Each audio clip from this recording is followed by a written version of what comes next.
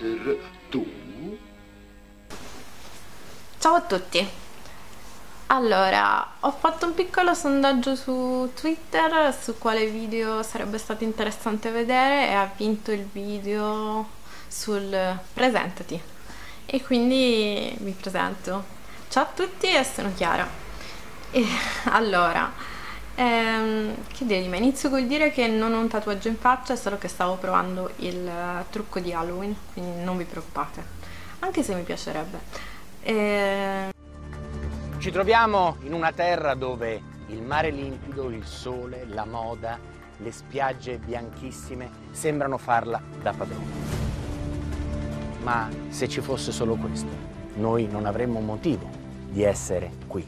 C'è dell'altro, c'è molto altro. Inizio col dire che sono nata in Sardegna, anche se a volte è difficile capirlo dal mio accento, perché è un miscuglio di accenti delle mie amiche, del mio amoroso e sono nato in un paesino di circa 3.000 persone in provincia di Sassari e è un paesino che mi è stato sempre abbastanza stretto e, e lì ho frequentato tutte le scuole fino alle medie. Successivamente sono andata a studiare a Sassari, che era la città più grande nelle vicinanze, e e ho avuto un'adolescenza un po' incasinata, ho cambiato diverse scuole, però alla fine mi sono diplomata eh, al turistico. Durante l'ultimo anno ho conosciuto Alessandro, che è il mio compagno, che ai tempi viveva a Milano, però per il video sulla mia storia dovrete aspettare. E il diploma ho deciso di spostarmi per l'università avevo due scelte, giurisprudenza a Roma o lingua Bologna. Perché lingua Bologna? Perché volevo studiare finlandese e l'Università di Bologna era una delle poche università in Italia a proporlo.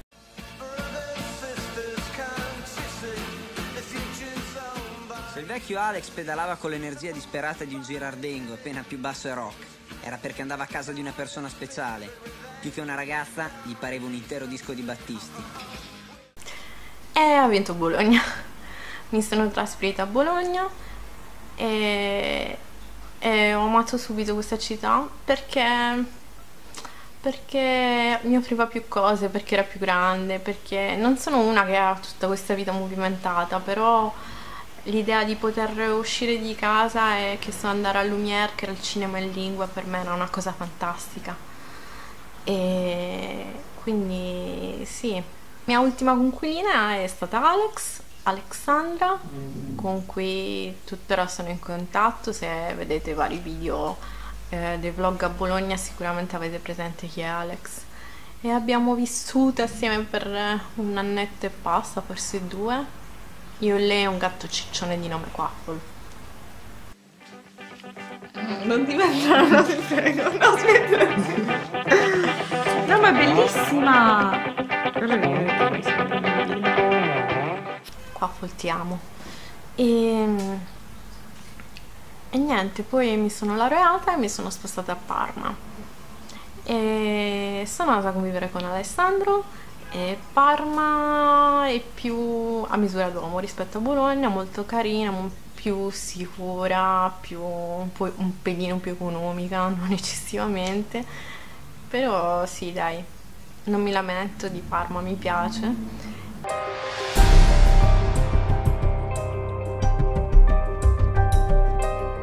E poi ho deciso di iscrivermi nuovamente all'università e questa volta di fare lettere moderne e prendere i crediti di insegnamento per italiano per stranieri.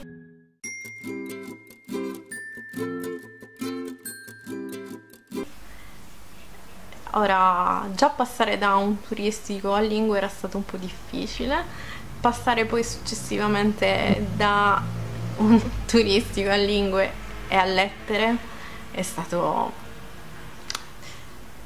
non troppo geniale per il fattore latino, per il resto anzi la mia carriera universitaria a lettere è stata abbastanza facile, escluso qualche intoppo perché non ho la mentalità da classicista, ma mi trovo bene nell'ambito della linguistica.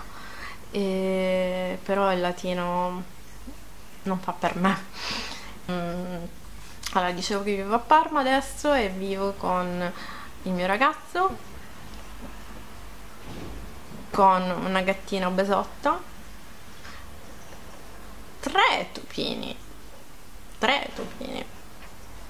Di nome Thor, Loki e Heimdall. Che vivono dentro una gabbia. Sì so che alcuni fanno un po' schifo ma io li adoro e per me sono un... fanno molta compagnia. Soprattutto Thor con cui ho creato un rapporto molto stretto io dico che è il mio therapy pet perché quando magari ho l'ansia o qualcosa di solito provo a giocare con lui e a cercare di tranquillizzarmi. E poi un acquario dove ci sono due black moor, un altro pesce che non ricordo la, la sua razza, e due lumachine neritine e altre lumache, una decina di lumache varie di altre specie. Tra i miei hobby, eh, allora, sto imparando a suonare l'ukulele Luigi mi ha detto di trovarmi un hobby perché è un periodo un po' difficile e quindi ho questo nuovo hobby che in realtà non va d'accordo con le mie unghie però, però sì, sto cercando di imparare. Non sono ancora molto veloce ma sto imparando gli accordi. E oltre a questo ehm, so fare appunto croce, mi piace. Mi piace editare i video. Mi piace fare fotografie, sono iscritta I can't do another. Yeah! Sarà che spendo troppi soldi su Amazon. E poi sì mi piacciono naturalmente guardare i film un abbonamento del cinema e anche l'abbonamento a diverse piattaforme streaming. Ultimamente mi piace un po' meno sentire la musica